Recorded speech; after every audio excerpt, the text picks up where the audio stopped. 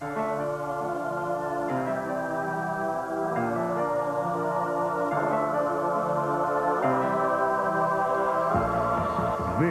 is Channel 11, New York's movie station. Tonight on the 8 o'clock movie.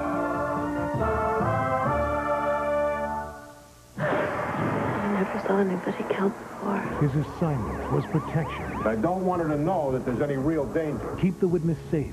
Don't get involved. I set her up. I saw it coming. Because one mistake You're gonna find you're dead with your face missing. could be murder. He's not going to let anyone walk out of that house alive.